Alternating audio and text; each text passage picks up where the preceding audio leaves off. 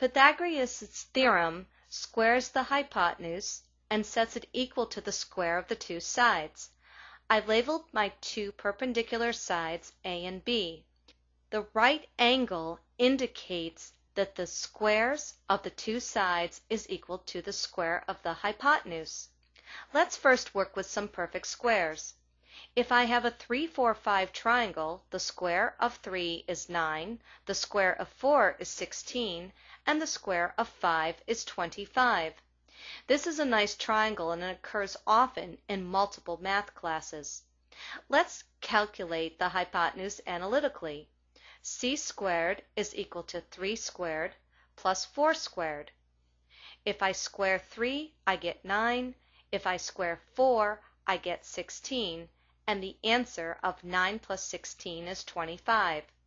Take the square root of both sides of the expression, and c is equal to 5.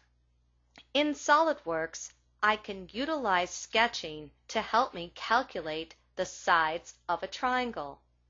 In this case, I'm going to sketch a horizontal and a vertical line, and then the hypotenuse.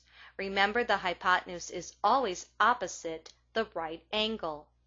I'm going to use a familiar triangle, but this time multiply each side by 10. 30 and 40 are the length of my sides. I don't have to worry about squaring 30 or 40. So I can do a shortcut and just square 3 and 4. Again, I will get 5 as the hypotenuse and later multiply by 10. SOLIDWORKS will calculate the hypotenuse for me automatically by just selecting the edge. In the case of an isosceles triangle, in here, both sides are equal to 10. I'm going to square the two sides and get 100 plus 100, which gives me 200. I take the square root of 200 and I get the square root of 2 times the square root of 100.